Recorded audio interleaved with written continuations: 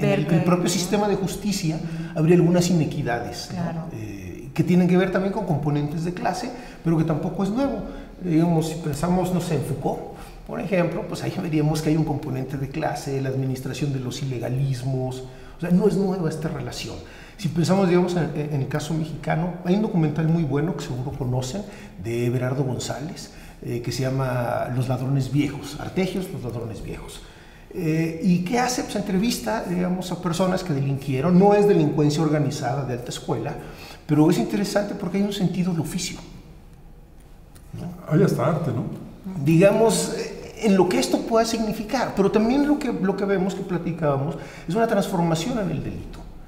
Es decir, antes el delito en México no era tan violento, y eso que México nunca ha, sido un país pacífico, siempre ha sido un país con armas sin conflictos. Intenso, intenso, digamos, muy intenso. Nos peleamos en serio el territorio. Y los... Pero después, digamos, eh, y después estamos hablando de los últimos 30 años, un poco menos, el fenómeno empieza a volverse cada vez más violento. Y entran factores, digamos, desde el rencor social, que tienen expresiones como el vandalismo, por ejemplo, a una serie ya de problemas de tipo mental, que tampoco se abordan en, estos fenómenos. Es decir, no es un fenómeno policíaco, no es un fenómeno que solo lo deban resolver políticos.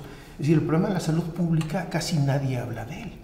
Y es en realidad donde hay uno de estos grandes nudos. Es decir, ¿qué hace que la gente tenga tanta angustia que encuentre en las drogas o legales o ilegales pues un tranquilizante? o una manera de evadir la realidad, o las angustias de perder el trabajo, de la vida moderna. Entonces hay una dimensión de salud mental y de cultura que tampoco se ha abordado.